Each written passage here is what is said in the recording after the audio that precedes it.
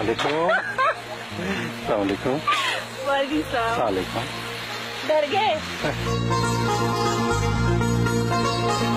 सिवाय इमरान के मैंने आज तक किसी को अभी तक आई लव यू नहीं कहा कि मैंने ये नहीं कहा कि मुझसे शादी कर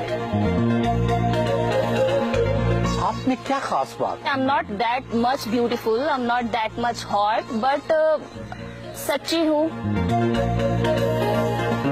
तरह की ना तो पर्सनालिटी है मुजरा वाली और ना ही मुझे मुजरा टाइप के डांस आते हैं। क्रश हुए तो हुए हाँ इसमें क्या आपको अच्छा लग जाता है जब वो कोई पसंद आ जाता है तो आप उसको क्या बोले?